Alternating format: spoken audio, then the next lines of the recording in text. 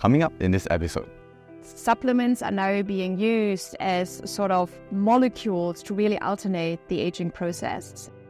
For the anti aging sort of supplements, it's the same. First, analyze what you need and then take it. Can consumers do it themselves? Um, very often I hear, okay, what you do is just for the richest rich, blah, blah, blah, blah, blah. I don't think so. We are at the moment. Well, What were main talking points that stood out to you from the conference? I am aging. I would love to have my dashboard every morning. Okay, manipulate a little bit this and this. Maybe don't do that, and I can make then a choice. Very importantly, is now to take ourselves seriously. And what do I mean with it? Hi, guys. Welcome to an episode of Health Geeks Podcast. In this episode, I have with me Professor Andrea Maier, and we'll be commenting on the very recent supplement conference, specifically our main takeaways. For that, just a quick update. Three main things to improve your content experience. Firstly, there'll be links mentioned throughout this video, and you can find those links in the description. Secondly, your VO2 max and your strength, among all the other biomarkers, are the greatest predictor of how long you're gonna live. Hence, my team has launched a sports and healthy aging lab to help you improve in these two areas in ways that can save you up to 90% time as compared to traditional methods. As you might know, improving strength and your VO2 max in the shortest amount of time in a safe way gets increasingly difficult as you age. And that's probably why we have seen many CEOs and senior executives walk in through our doors when we launched the lab this month. More about how we do things as well as the science in the next video. Feel free to subscribe to be notified when the video is out. Speaking of which, the last point is we are close to a thousand subscribers. That mark is one of the criteria for us to monetize our videos through YouTube. And so if you enjoy our content and you'd like to see better quality in the future, please hit that subscribe button. That's all for now. Back to the episode. Good morning, Professor. Thank you for having me. Yeah, I was just gonna say thank you for coming onto the show. Right. Um, first question to you is what were main talking points that stood out to you from the conference? So, first of all, it was a conference with lots of excitement. Um, there were so many participants that we were sold out. Yeah. Um, there were so many sponsors who really ran out of the products. And there were so many speakers who just wanted to come. Yeah. So it was a great success, which means that the topic supplements really means something uh, for the ecosystem of the field. You know, that supplements are now being used as sort of molecules to really alternate the aging process. And this was the first conference really bringing all the expertise together, but also bringing together the industry partners to really make sure that we are aligned. Uh, next to that, we also had the public day Yep. uh, on Saturday with lots of uh, excitement. So, which means that's my really takeaway that the ecosystem of health and longevity medicine really now is embracing the, the supplement field and that we have industry partners. We have had really, really great um, presenters. And we had a great audience with lots of questions and lots of excitement. Another point, my takeaway is that we need to regulate it maybe a little bit more. First of all, there were, and I was quite proud of it, regulators uh, in the room and really showcasing that where the field is, how we use supplements in the health and longevity medicine field and translational geroscience together where maybe caveats are in terms of the quality control um, I think is is most exciting that we can really grow the field. Yeah, indeed. One of one of my takeaways was the end of the whole conference. There was this supplements versus drug debate, which was a highlight, right? Uh, you moderated that, yeah. And before that, earlier in the conference, you also presented your own slides, um, where you mentioned supplements reality, but human translation is limited. Studies are small. That was one of the pointers on your conclusion slide. Yeah. Would you care to elaborate a little bit on it for people who might not have attended the conference, as well as for people who want it summarized? Yeah. So, unfortunately, we do not have many well conducted randomized controlled trials yet in humans, but they are coming. Um, so, that's a good point.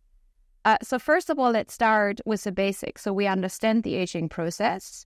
We have molecules who could interfere with the aging process. Um, this has been trialed in animal models. Uh, think about Urolithin A, think about AKG, think about spermidine, fisetin, nicotinamide mononucleotide, other NAD precursors. So we have lots of understanding and we have lots of evidence in animal studies. For a couple of these supplements, these were transferred into the human space. We ourselves at the National University of Singapore Yong Lin School, we do studies, for example, with alpha ketoglutarate. We did studies with nicotinamide mononucleotide. And we now translate the knowledge to really prove that it makes sense to give it in humans in clinical practice or that consumers uh, take it. So we need many more of these randomized control trials. Uh, some will, no randomized control trial will fail, but some of them will have negative results, which is which is fine. I think one of the examples is resveratrol.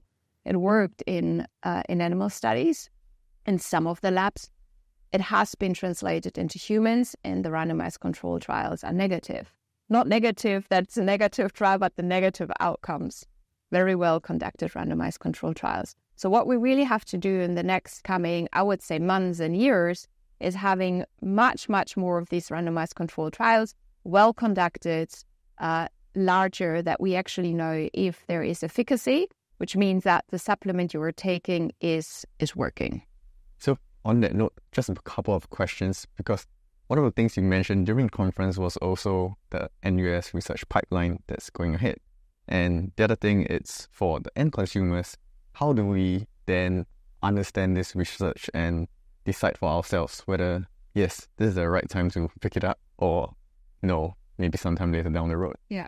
So, two points here. So, first of all, all the listeners participate in our randomized control trials because without you, we cannot actually do studies. And therewith, there is no evidence in the consumer market that something works or doesn't work. So please um, be our guest to really participate in the randomized control trials. It doesn't matter where you are. If you're watching from overseas, they're everywhere. There are research centers who are who need participants. So participation, first of all. The second thing, if I look at consumers and lots of people ask me, okay, what should I take? I said, nothing if you don't know who you are. So, what what do I mean? Um, I just explained that we have molecules uh, antagonizing the aging process. Everybody is aging a little bit differently. We understand. I think that's also a debate, but we understand, in my view, what aging is. But everybody has a different sort of problem in the aging aging process. There might be that for one, uh, autophagy has to be upregulated. For the other one, proteins has to have to be stabilized for, for another person, there are too many senescent cells and they need different approaches. As a normal conventional medicine, first you analyze where the need is, and then you are finding an intervention which is targeting that need. So if we're talking about supplements, it should be the same.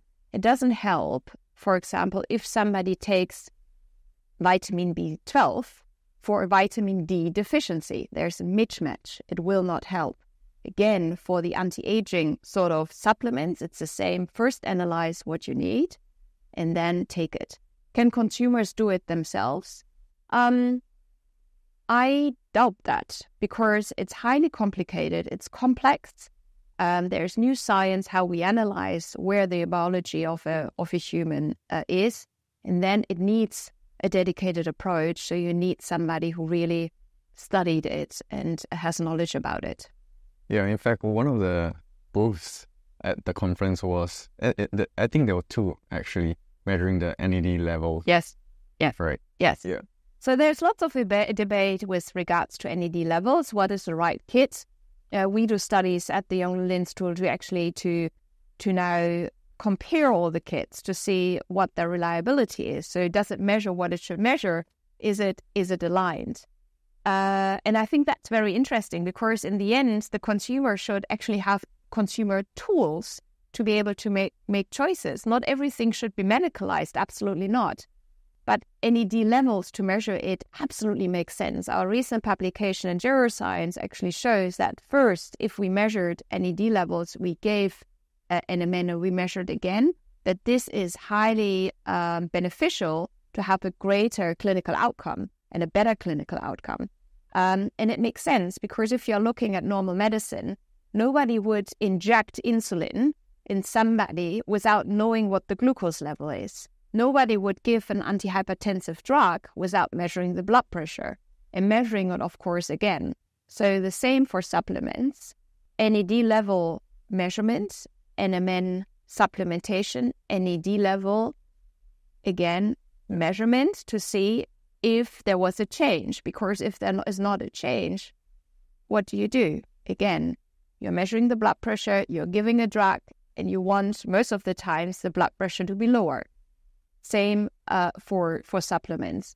Measuring vitamin D level, taking vitamin D supplements, measuring it again if you have the right dosage. And that's the future. Yeah, it sounds like different partners in the ecosystem growing alongside each other yeah.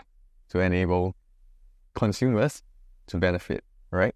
Um, on that note, for newer industries, regulations, as you have covered just now, it's great to have regulators in the conference as well. Regulations are typically, well, they need time to catch up, right? Mm-hmm.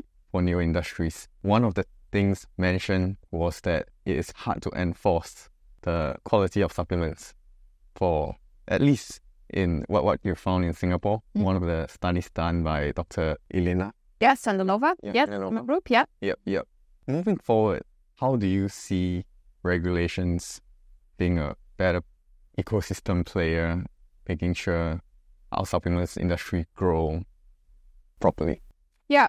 So there, there could be two strategies. Either you regulate everything or you give the power to the industry and you make sure that the quality is good. So what we did is we tested different supplements on their label claim, which means is the quality this the the one which is actually written uh, on the bottle. Yes, the bottle and supplements most of the time looks nice, it's colorful, or it's, it's very well designed, and people then buy it. The question is: Is the content what's actually written outside uh, on the on the bottle? So to make sure, and, and and it's quite negative. So there are lots of supplements having not the ingredient or having much much more little of uh, what it should be in the in the bottle. So there's a problem. So either we say everything should be regulated. Um, that that could be an, an idea, but where do you start and where do you stop? Secondly, I think what we need to do, and that's the reason why we did the study, we just have to showcase, hey, guys, this is the quality. Is this what we want to stand for? Yes or no? And I think unanimously the answer, at least at the conference, was no, because we want high quality. So there might also be a self regulation Well, it's good to understand that as well, uh, especially as a consumer. Yeah. Making choices. Yeah. Of course, you would like to know. So I get lots of questions. What should I take? Yeah. First, and I get the answer, give the answer. Okay. First, only if you need it. And then again, uh, contact me. oh, yeah. And the other thing you mentioned as well is that studies are small. This is when one of your yeah. conclusion slides. So am I right to assume, uh, just correct me if I'm wrong. Yeah. Right. If studies are larger, meaning like a large study show a clear benefit for a particular supplement, it would be game changing for the industry. Is it as straightforward as that? Uh, realistically, how far are we from something like that? Yeah. So, uh, but first of all, yes, it would be a game changer because then we would have a an intervention to slow down the aging process or to reverse the aging process or to manipulate at least the aging process. Absolutely. And we have a couple of these smaller studies who actually show um, clinically relevant changes of the physiology. So there is something happening, and we can actually detect that. But very importantly, is now to take ourselves seriously.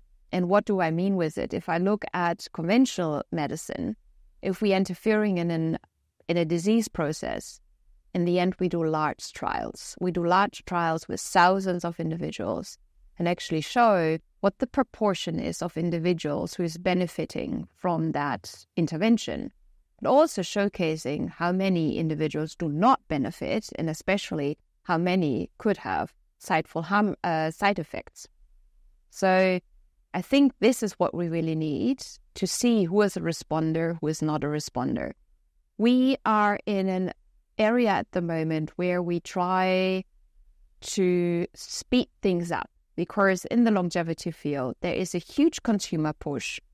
The consumer push uh, is so big that lots of industry partners are kicking in, which is great. So we have lots of small, medium enterprises who really try to um, discover new formulations, new molecules, etc., and bringing that into the market.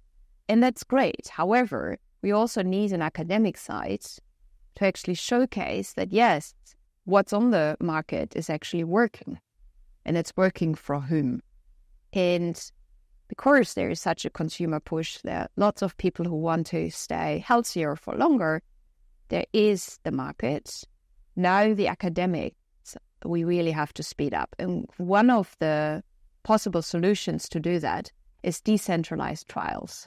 So what I'm what what are decentralized trials? Decentralized trials are different from conventional trials. Normally, if you're in our studies, you're coming in for your visit, uh, you get lots of assessments, and you're coming again, you're coming again, and you have to go into our research center, which is great. We love to to have participants there.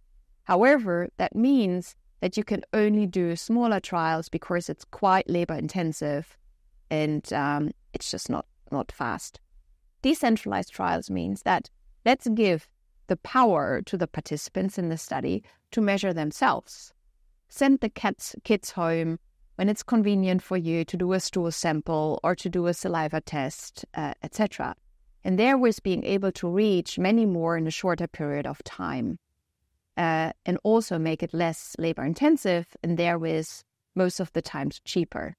So, this is what we are trialing at the moment how to do decentralized trials for healthy longevity uh, supplements, uh, but also for many more, more studies to reach the masses and to understand in whom it's working and not. So, when you say this is what we are doing at the moment, is it something that is already rolled out and we are rolling out the first study in the next coming uh, two to three uh, months. It's a big study where we decentralize the uh, the trial and um, giving the participant the power to yeah to measure and information for this can be found somewhere.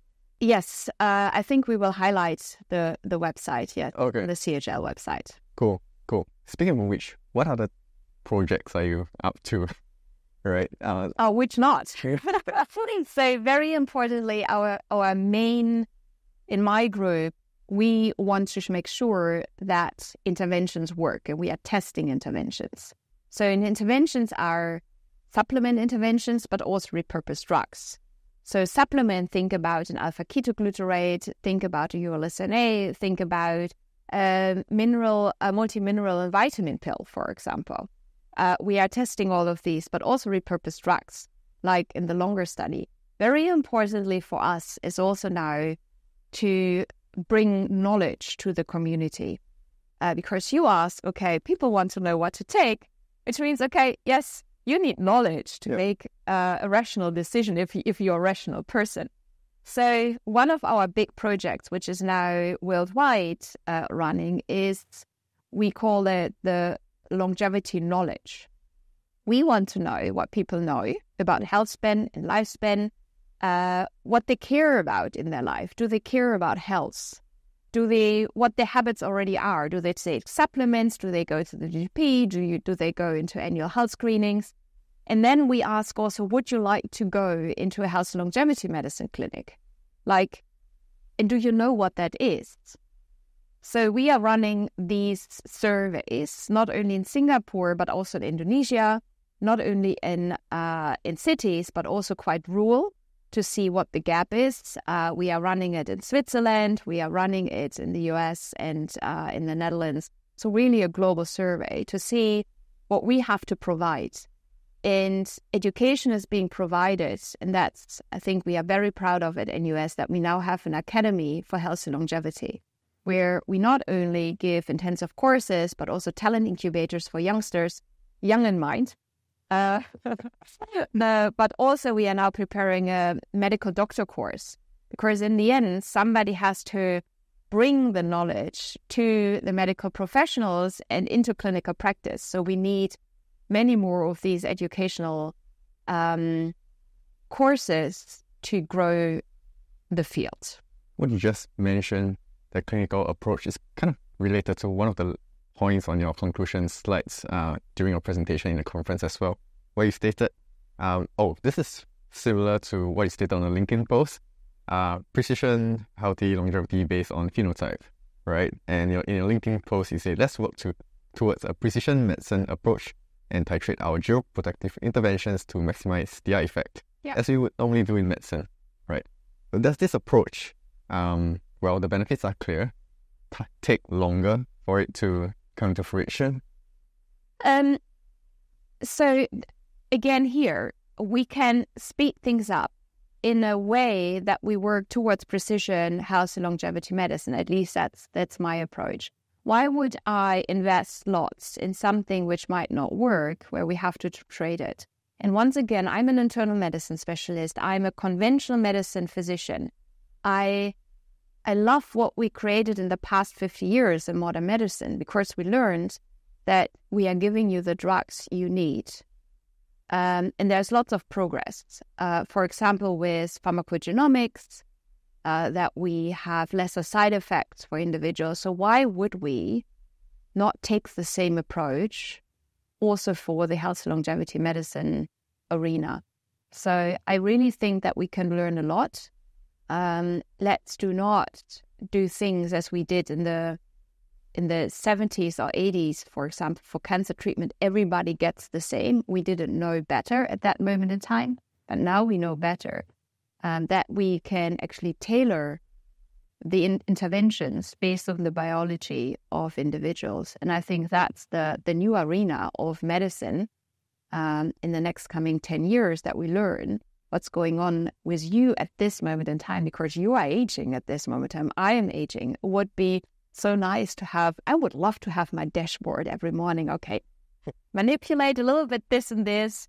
Maybe don't do that. And I can make then a choice. It doesn't mean that knowing you, that you have to or it's dictated what you have to do. Absolutely not. There's so much choice then.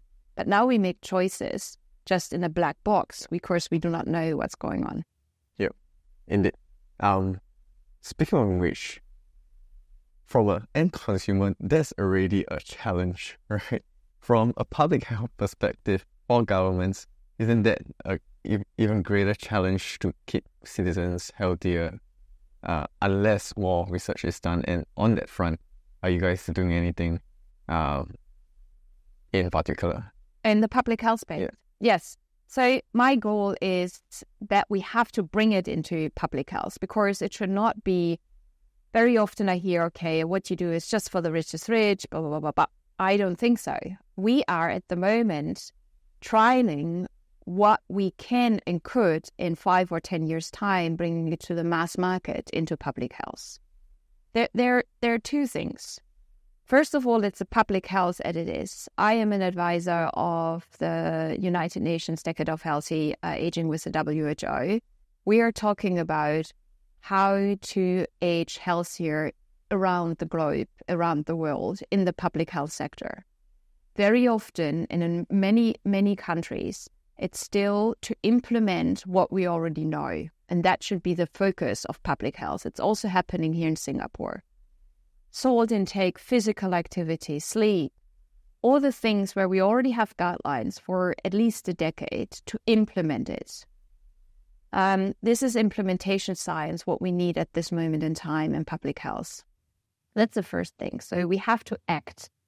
Um, the second thing is how to create a pipeline that for the public health sector in five years' time, we have the new WHO guidelines to actually say, no, not 10,000 steps should be for everyone, but you need a mix of steps of endurance, of balance, of strength training. And this, this mixture is good for you or for this group of individuals. So we have to make sure that in five years' time, everybody agrees on that guideline around the world to implement it then into the public health sector. So what we are doing within translational geroscience, health and longevity medicine, is now in smaller scale to trial who is responding, who is not responding to, for example, lifestyle interventions, but also supplements, repurposed drugs.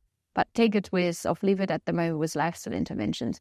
What is good for that group of individuals? We have to make sure that we are super evidence based backed. So we need lots of randomized controlled trials or other studies, new designs to make sure that we are building these guidelines. It's a new approved WHO guidelines that will then, via implementation science, go into the execution around the world. So we are the fourth step, I would say, of implementation. Yeah, you just mentioned the timeline five to 10 years. You want to see some of these guidelines go into the WHO guidelines. I'm just curious with so many projects on your plate, are you growing your team? Are you hiring? Yes, I'm absolutely hiring. And, um, but I would love to see not only my team growing, but the entire world growing. So that's the reason why we hugely invest, for example, in talent incubators. It's not a talent incubator by the NUS um, School of, of Medicine, the Yong Loo Lin School, is not to just be there for two weeks. Young talents, if you want to find more, please look at longevityacademy.sg. It's not just having these individuals two weeks, but then forming alumni classes and forming really a very strong network around the world. That's what we need. But yes, if you're interested, you are passionate about this topic, please contact me. Even if you are not working in my group, we have a very strong network and we can dedicate and guide you towards other principal investigators to work in their groups. Most importantly, that we are building the grid, we are really building the network, being very strong. And it doesn't matter where you work, but that you are working and you're bringing your talent to the field. That's most important. That kind of leads me to a concluding question, which has two parts. One is with a whole spectrum of projects and the supplement conference with Academy and Open Day uh, sandwich, um, what are some things that your team thinks, oh, maybe we should have achieved more? um, so, first of all, I have a great team, and really, I am not doing it. The team is doing it. So we have the scientific committee, uh, we had the organizational team, we had a, a team for the intensive course, for the open day, and every every team member was so crucial to to open it up to the world that so many people, uh, more than sixty percent, flew in internationally to actually come to Singapore and come to the NUS. So that really means that the NUS, the Yong Loo Lin School of Medicine, is now at the forefront to actually showcase yes, like if you want to to have something, come also Singapore. Singapore is the place. No, so no, it's it's it's not me. It's it's the team. Um, I don't think that we have what we did. Of course, there's always things to learn if you're organizing things. But what we really want to do is now drive the agenda for Asia. And we are even working now on the next next conference uh, because there is a huge lag time between uh, that you are doing it a lot of preparation beforehand. I think what the field is needs is good quality conferences, much more education um, from a regulatory part, from a MD part, health uh, care professional part. I think conferences, bigger conferences are good once a year. I think most importantly is building also the local network, and that's what we are now doing. Uh, and the conference massively helped. So if you are watching from Singapore, you're a healthcare professional, just reach out because now we have a WhatsApp group and that's active. Like, what do you do? How do you do things? How do you establish the ecosystem? And now people are finding each other and building that strong network. And I think that's that's exciting and that's what we need. Cool. You actually answered my second question. I mentioned there was two parts. Second question was what's the next big thing for the conference? Right. And you mentioned it's in the pipeline. Yes, we are choosing a um, a topic now for the conference, but I think most importantly is I'm excited about everything we we do at the moment. Um, there is the talent incubator coming up, which is super excited. We have 40 already selected of youngsters who are coming to Singapore. Uh, application closed, so watch the next year.